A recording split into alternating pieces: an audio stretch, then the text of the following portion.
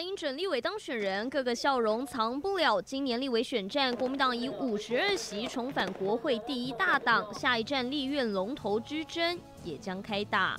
院长早，哎，支持者迫不及待想要叫一声院长，不过想当立院龙头没那么容易。看看今年立院一百一十三席次分配，国民党总共拿到了五十二席，民进党则是占有五十一席，民众党靠不分区成功夺下八席。不过过半的门槛是五十七席，这次国会三党未过半，民众党更是成为关键少数。如果真黄珊珊或台湾民众党好朋友还认同了我们。当时候监督民进党，希望能够达成联合政府，能够对于政策我们谈对中华民国、对台湾有利的方向，那么我觉得还是有合作的机会。蓝绿争取民众党支持，前高雄市长韩国瑜出马呼声高，绿营预期会由游锡坤争取续任，绿白还是蓝白怎么合综联合也成了最大悬念。那么现在的政治现实就是如此，你国民党没有单独过半呢，那所以像这个院长的席次，他一定要。过半数的支持，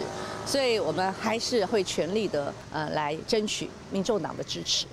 未来立法院龙头将是尤锡坤和韩国瑜的战争，民众党将会是关键的少数，两党势必都要找民众党沟通。距离国会开议只剩下两个礼拜的时间，民众党原本说不会绿白合推人选角逐立院院长，现在态度却有点微妙。一早都在讨论这个到底。